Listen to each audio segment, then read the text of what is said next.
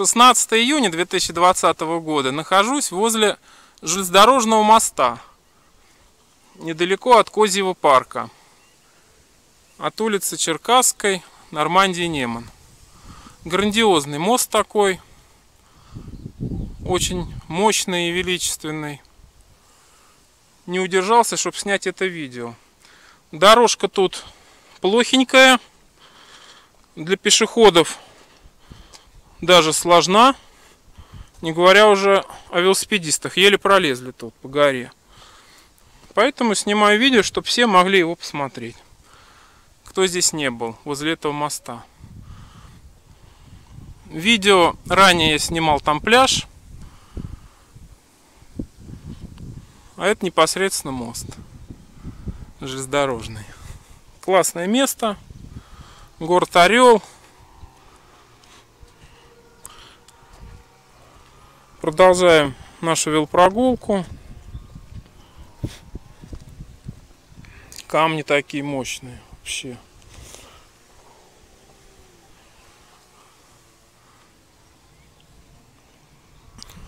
И сейчас мы пойдем далее поедем по левому берегу Оки очень интересное место будет, где были немногие бывали.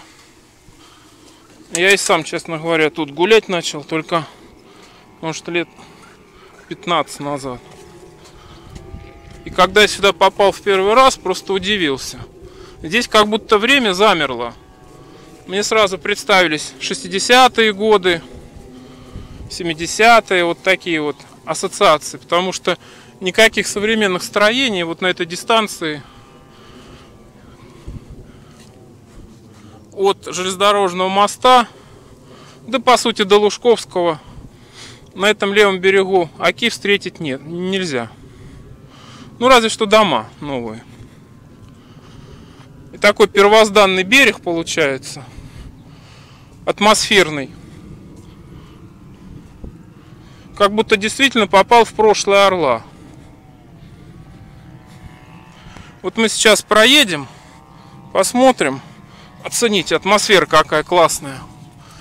Реально, здесь погулять, это просто большое удовольствие.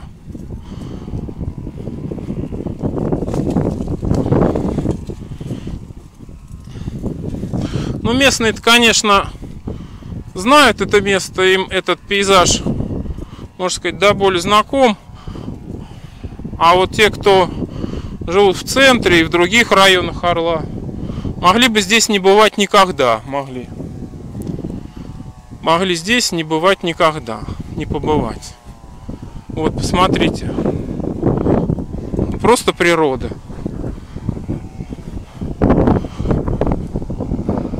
Природа. На том берегу вроде как каменоломни орловские.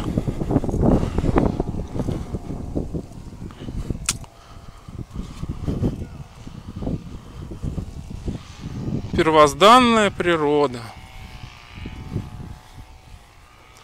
Ну, может, не совсем первозданная. Но очень здорово. Просто чувствуешь, что попал на лона природы. Очень красиво, много зелени, воздух замечательный. Но опять-таки ни одной урны, естественно. От центрального рынка и до этого места я не наблюдал. Как говорит президент Лукашенко, упушение. Очень жаль.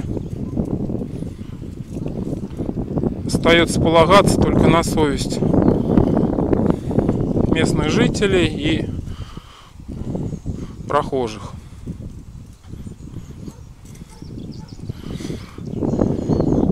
по привычке, чтобы придать больше веса этому видео, я расскажу еще одну тему про соль. Вот сегодня 16 июня, а я бросил соль есть 17 мая. И почти за месяц наблюдаю очень хорошие положительные изменения в своем организме. Ну, во-первых, у меня сошли несколько килограмм. Ну, может быть, 3-4, вот так. Которые вполне возможно состояли из воды и удерживались, солью. Потому что натрий притягивает соль, как говорят видео. И на том берегу тоже замечательно.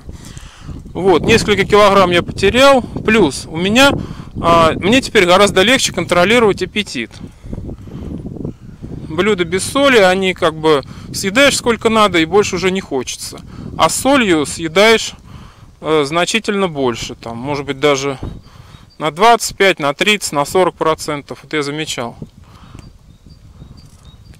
Кроме того, у меня болело плечо, болело долго, года два, и спать не мог на правом боку, правое плечо у меня болело. Я все думал, что это старость, оказалось это соль. То ли это отложение солей, то ли это как Поль Брегг.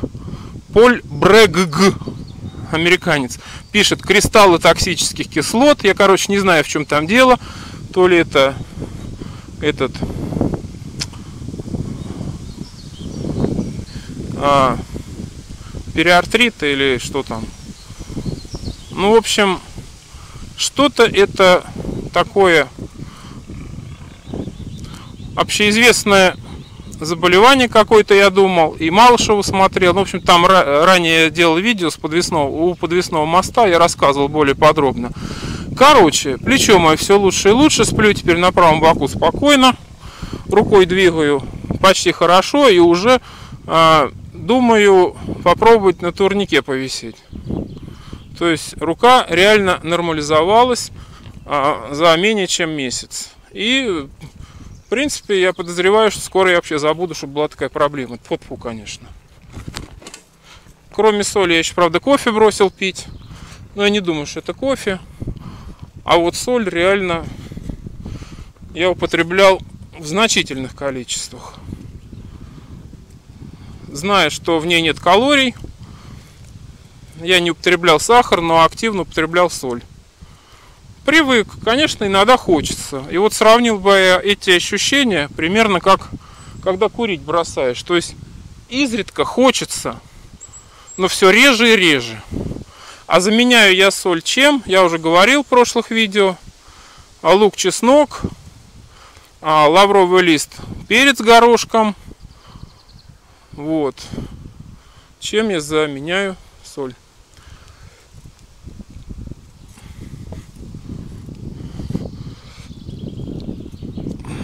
Вот люди, которые страдают отеками,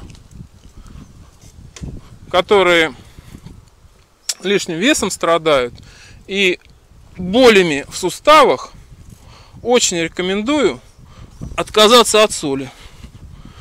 Помня о том, что во всех современных продуктах питания эта соль содержится, и в сыре, и в колбасе, и в хлебе, и везде. Ее употреблять ну, совершенно незачем дополнительно.